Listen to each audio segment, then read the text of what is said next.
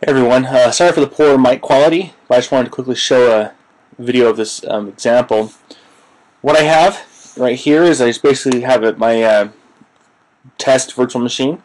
I've installed Redis on it, and uh, I have um, checked out the code from uh, my example repository, and I've initialized some modules to get Predis installed, and I've basically just you know entered the commands. haven't hit but I haven't hit enter yet uh, to start my workers, start my status monitor, and uh, start Redis.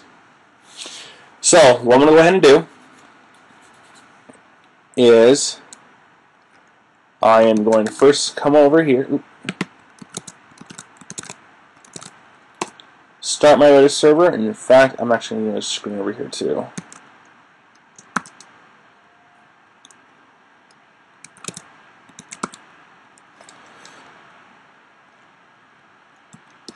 And do my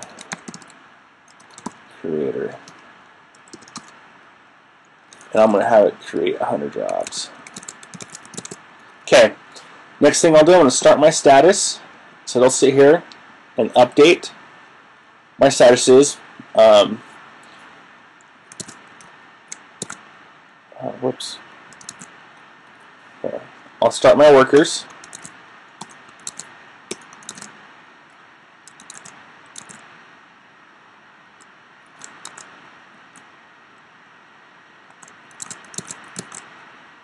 Ugh. I'm a screen noob. There we go. I'll just do that. Uh, we'll have Redis down there. And as you can see on the right hand, left hand side, uh, my my my my uh, workers are waiting for a job. My right hand side it shows them is waiting. My high, normal, and low queues all have zero, and the total is zero. And so now if I go over here to the creator and I tell it, hey, generate 100 random jobs. And you can see as soon as they're generated, boom, um, the workers got to work. Over here on the left-hand side, you can see them.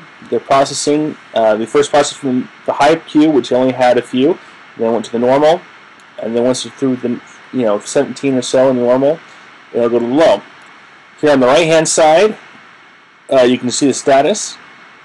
And these guys will keep working, and uh, once they're done, they'll start waiting again. 35, 21, and 16. Right, watch here over the left-hand side. We should get to a point where waiting for job at the bottom.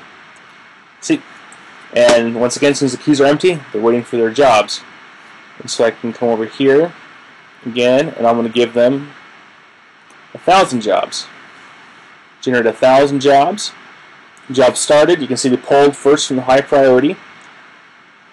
Uh, and they're going to continue working on that high priority queue. Once they're finished, they move to the normal, move to the low, and it shouldn't take them too long to go through um, and do these jobs. Very, very simple, very, very awesome. And I hope you guys have enjoyed uh, this little clip.